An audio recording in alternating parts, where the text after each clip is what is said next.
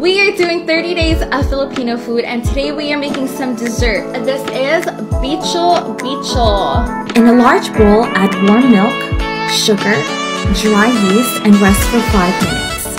In your milk mix, add egg and whisk.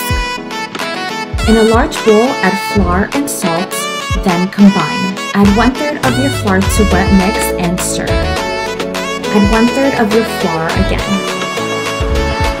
Add softened butter and combine. Add remaining flour, combine, and knead for 5 minutes. Butter a large bowl and add the dough and rest for 45 minutes. Gently deflate your dough, then roll and cut into 14 equal pieces. Roll each piece into 14-inch strips.